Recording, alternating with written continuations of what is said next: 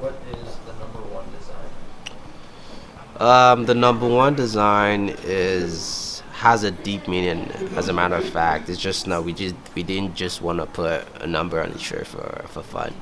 Um, we have a philosophy, or should I say, I have a philosophy of uh, that in the hierarchy of priorities, that you as a person in your life, you're number one. In my life, I am number one. You know, I come first before any other thing, before any other person, basically, because you before you can love other people, you need to love yourself first.